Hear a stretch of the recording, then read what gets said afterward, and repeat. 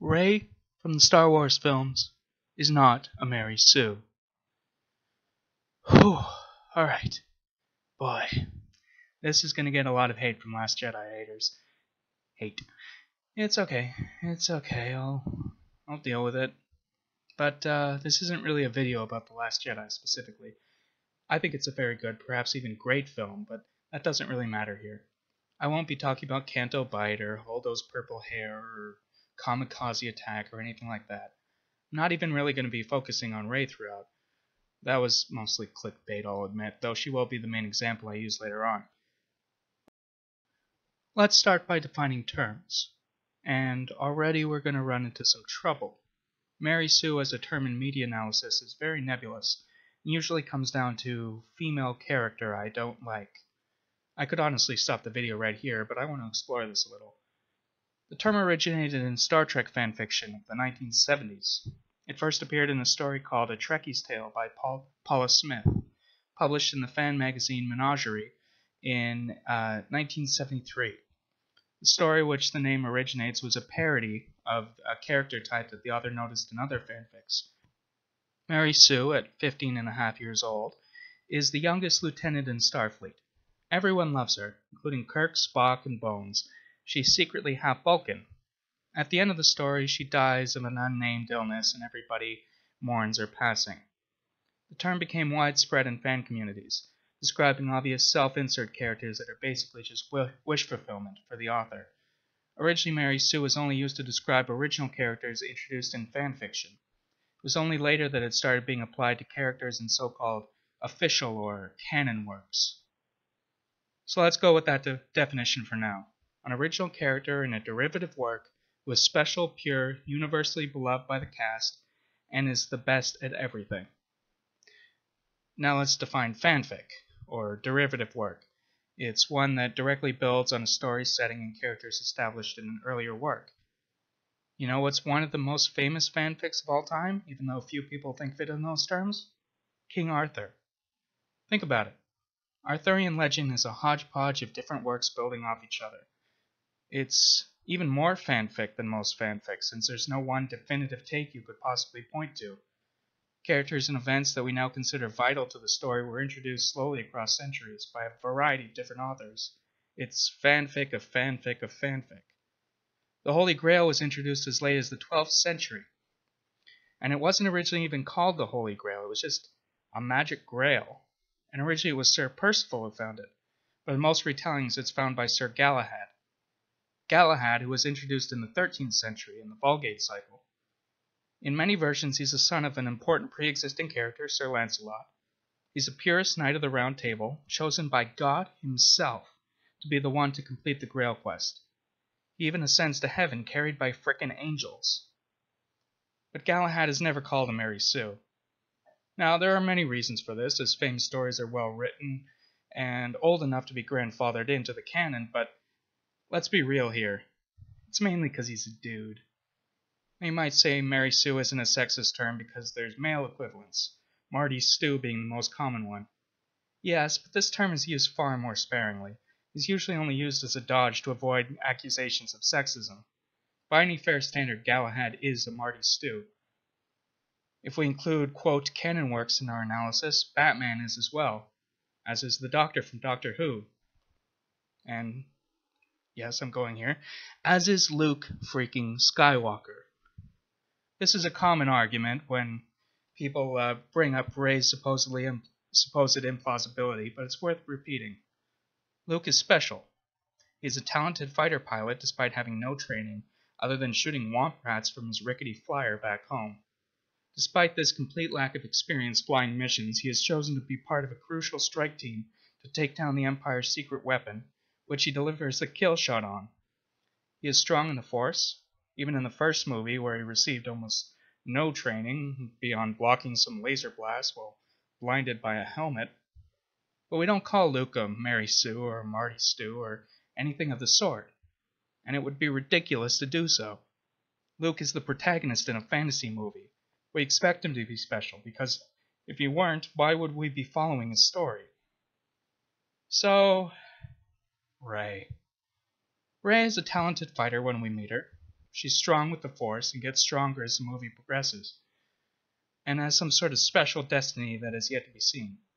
She's not a Mary Sue, though. She is a protagonist in a fantasy movie. She's special, yes, but again, it would be weird if she weren't. I'm sure fanboys would be just up in a, just as up in arms if Rey were an incompetent load who had to be rescued all the time by more capable characters, yet still be presented as the main character. There was no way to win here. She was damned either way, so I'm left to conclude the problem is that she's a main character who is female. Now I hear the counter arguments already. I like Ripley. I like Sarah Connor. But those are good characters who aren't defined by their gender. They're not forced diversity. Okay, a few things there.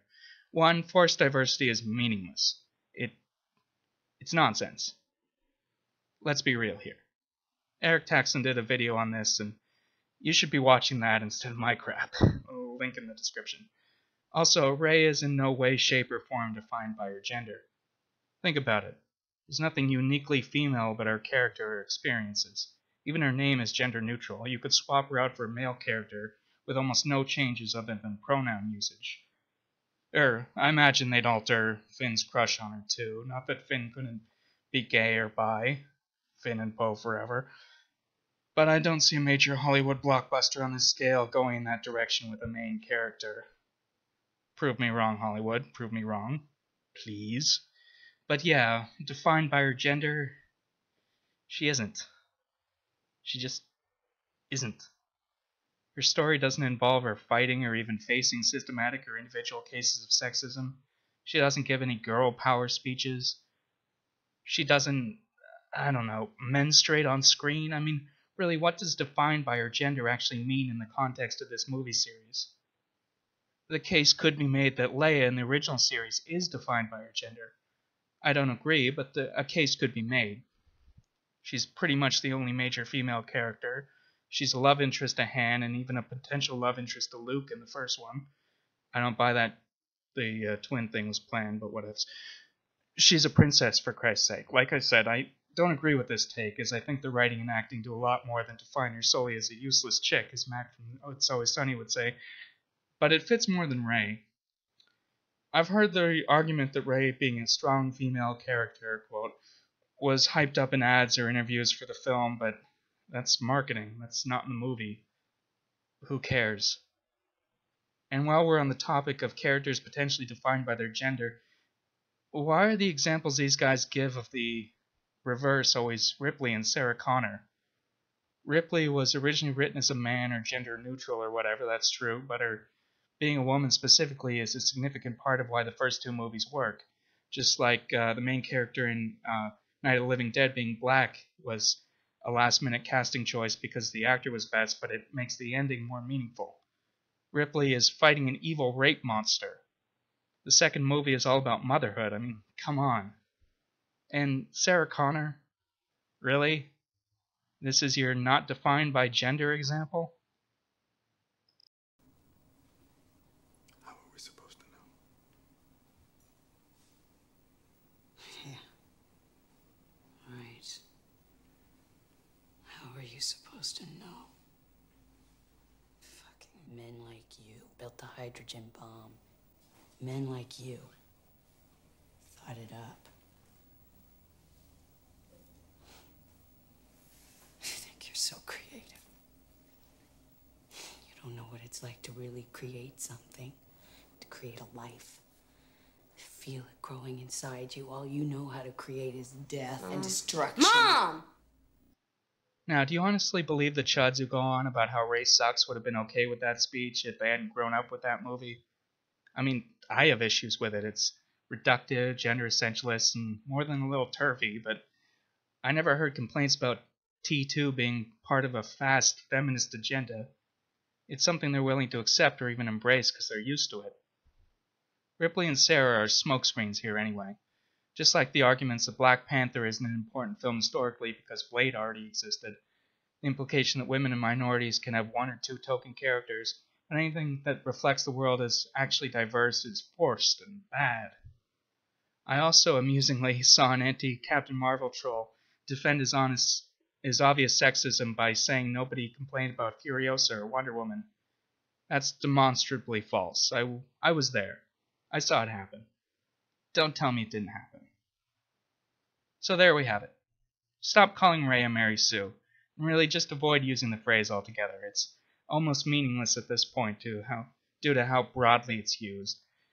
And even if you narrow it down to a strict definition, it's applied disproportionately to female characters.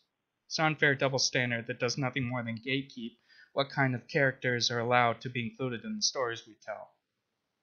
Now, I'm going to end this with a bit of a swerve, though it's related to this topic. I do not like the movie The Phantom Menace. I think it was bad. That said, the abuse that Jake Lloyd and Ahmed Best had to endure was despicable. That goes for the abuse and hate campaigns that still go on by nerds upset that upset that particular movies don't live up to their subjective standards. Even if Ghostbusters 2016 was a terrible movie, it wouldn't have justified Milo Yiannopoulos and his ilk harassing Leslie Jones with racist and sexist tweets. Even if The Last Jedi were like if Manos and Monster Go-Go had a stillborn, it wouldn't justify making a video of you cutting off the heads of Rose Tico dolls or harassing the cast and crew off social media. Even if Captain Marvel were nothing but two hours of Brie Larson reading the Scum Manifesto on repeat while giving the audience the finger, it wouldn't justify the obsessive and creepy videos I've seen about her or the transparent review bombing the film is getting. These things are not okay. The fact that they're almost always directed at minorities or women, or just anybody trying to, in some small way, make the world better and brighter for vulnerable, vulnerable people is very telling. We see you. We aren't fooled by your dis- disingenuous excuses. You need to grow the fuck up.